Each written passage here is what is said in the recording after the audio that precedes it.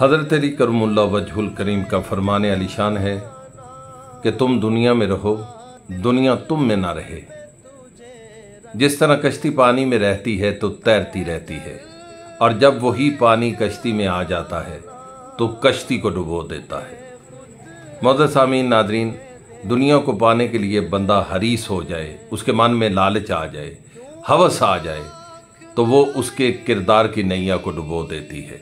जिस तरह वो कश्ती जो पानी पे तैरती है, और वही पानी जब उसके अंदर आ जाता है तो उसको डुबो देता है। इलामा इकबाल रहमत ताला का क्या खूब शेर है कि काफिर की है पहचान के आफाक में गुम है। मोमिन की ये पहचान कि गुम उसमें है आफाक।